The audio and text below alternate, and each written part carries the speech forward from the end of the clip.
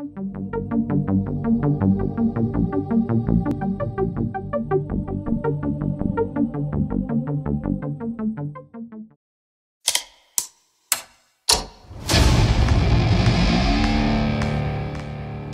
right, it is New York Toy Fair this week, and the LEGO Group has unveiled numerous new sets including Solo, DC, and Jurassic World Fallen Kingdom.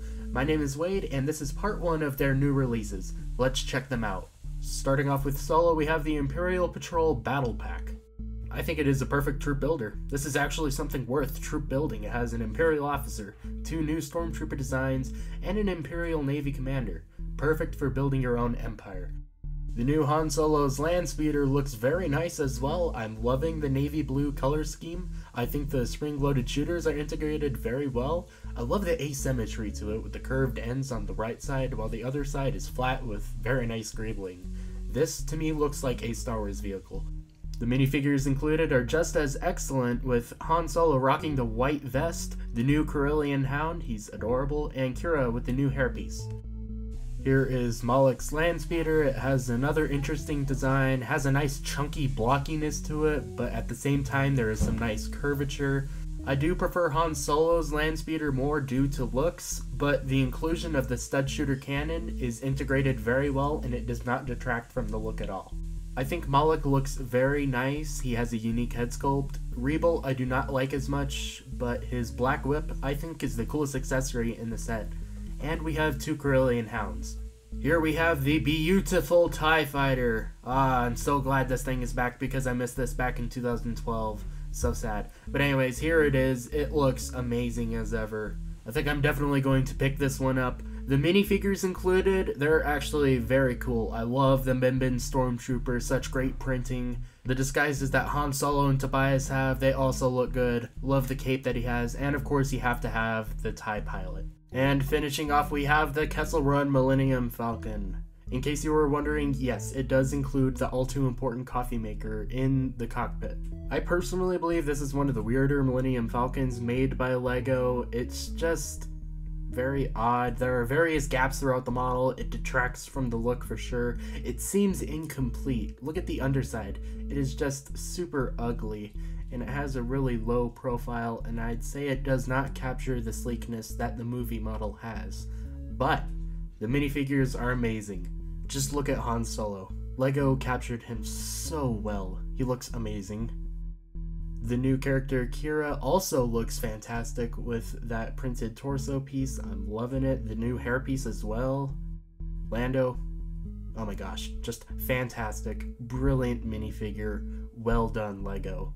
The Kessel Run droid is my favorite of the bunch. Just look at the printing on him. He's gorgeous. Then we have Chewbacca, who I think is the weakest of the new figures due to his sculpt. Then we have three unnamed mystery sets that are likely to be released later this year.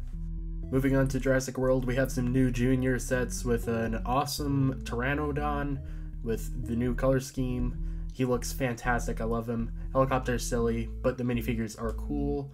We now have a new Raptor in green. That's equally as awesome. I love that. rest of it's okay. And then we have a T-Rex breakout set. Gee, I wonder how the T-Rex broke out in the first place. All I see is one wall.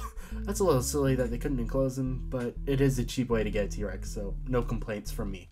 I just learned that Tyrannosaurs have a diet consisting of hot dogs. Anyways, moving on to the more serious sets, we have another Pteranodon, equally as fantastic, and a really nice Jeep. I really like that. That's super cool, and it has the new net.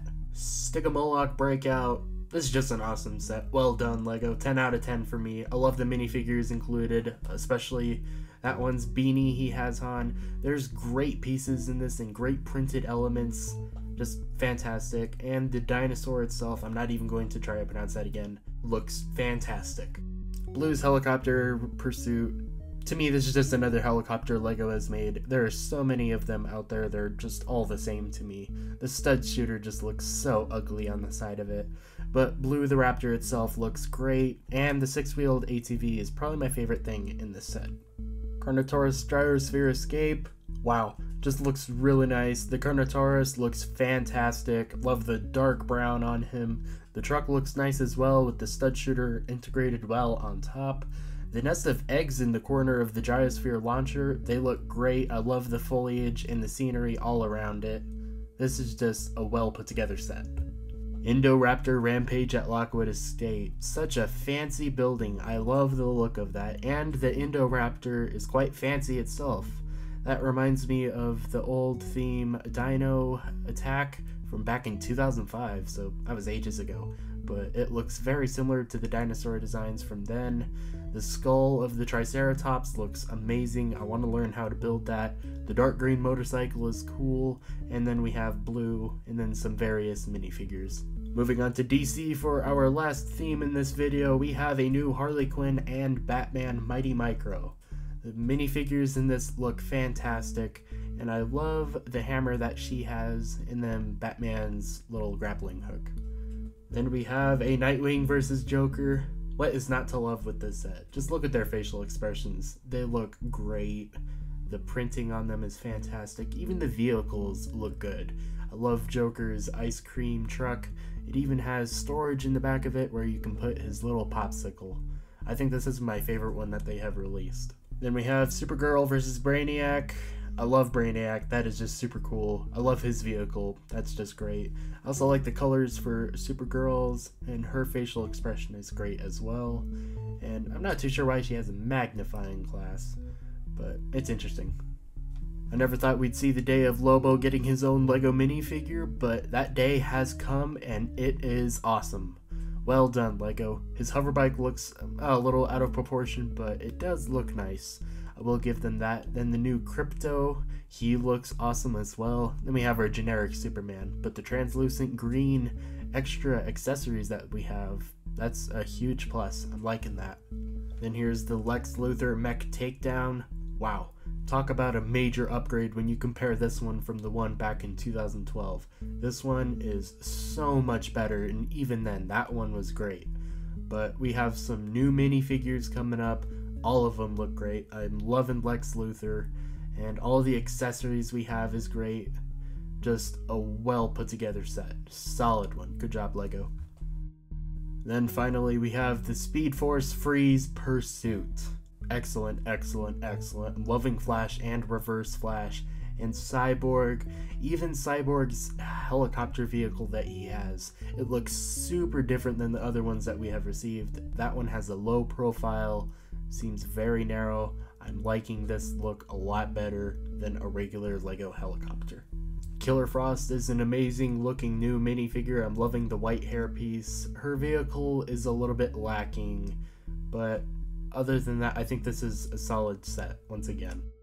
Then there is also three mystery sets, ones that are actually named.